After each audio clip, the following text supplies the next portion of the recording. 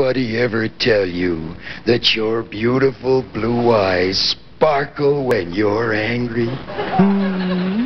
Uh, well, yes, as a matter of fact, they have. Well, they were!